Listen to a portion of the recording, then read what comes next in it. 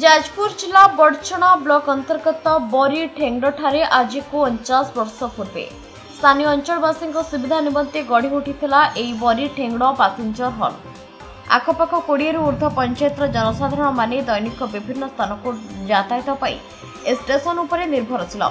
ଦୁଇହଜାର ପନ୍ଦର ଷୋହଳ ମସିହାରେ ପାସେଞ୍ଜର ହଲ୍ରୁ ତୃତୀୟ ଶ୍ରେଣୀ ଷ୍ଟେସନ ମାନ୍ୟତା ପାଇଥିଲା ବରି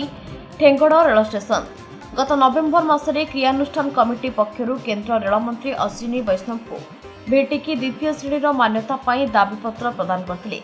କିନ୍ତୁ ପରେ ତୃତୀୟ ଶ୍ରେଣୀରୁ ପାସେଞ୍ଜର ହଲ୍ କରିବା ପାଇଁ ମସୁଧା କରି ଷ୍ଟେସନର ଉନ୍ନତିମୂଳକ କାର୍ଯ୍ୟ ସ୍ଥଗିତ ରଖିଛନ୍ତି ବୋଲି ଅଞ୍ଚଳବାସୀ ଅଭିଯୋଗ କରିଛନ୍ତି ଏହା ସହିତ ରେଳ ଷ୍ଟେସନକୁ ତୃତୀୟରୁ ଦ୍ୱିତୀୟ ମାନ୍ୟତା ଦେବା ପାଇଁ ଷ୍ଟେସନ ମାଷ୍ଟର ଜରିଆରେ ରେଳବାଇ କର୍ତ୍ତୃପକ୍ଷଙ୍କୁ ଗୁରୁବାର ଦାବିପତ୍ର ଦେଇଛନ୍ତି ଅଞ୍ଚଳବାସୀ ଆଜି ସକାଳୁ ଶହ ଶହ ସଂଖ୍ୟାରେ ଜନସାଧାରଣ ଷ୍ଟେସନ ନିକଟରେ ପହଞ୍ଚି ଦାବିପତ୍ର ପ୍ରଦାନ କରିଥିଲେ ଦାବି ପୂରଣ ନହେଲେ ଆଗାମୀ ଦିନରେ ରେଳ ରୋକ କରାଯିବ ବୋଲି ଚେତାବନୀ ଦେଇଛନ୍ତି ସ୍ଥାନୀୟ ଅଞ୍ଚଳବାସୀ କ୍ରିୟାନୁଷ୍ଠାନ କମିଟିର ସଭାପତି ପ୍ରଦୂତ ପ୍ରତାପ ସମ୍ପାଦକ ଉମେଶ ରାଉତ ସ୍ଥାନୀୟ ସରପଞ୍ଚ ସମୀର ରାଉତ ପୂର୍ବତନ ସରପଞ୍ଚ ଦୀପକ ପ୍ରତାପ ତାଙ୍କ ବ୍ୟତୀତ ଆଖପାଖ ଗାଁର ଶତାଧିକ ଜନସାଧାରଣ ପ୍ରମୁଖ ଉପସ୍ଥିତ ଥିଲେ